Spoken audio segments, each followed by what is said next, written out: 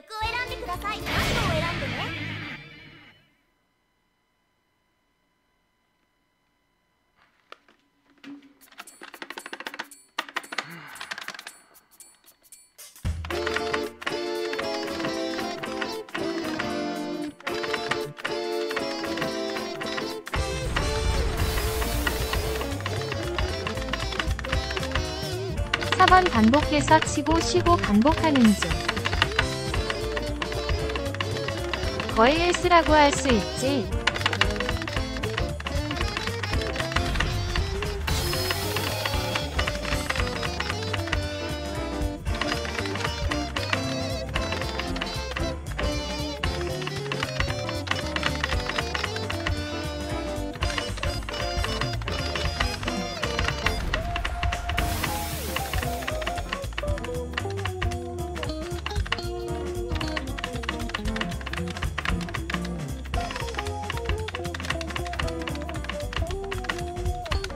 머슬 메모리 하는 게 다 비슷한가 봐.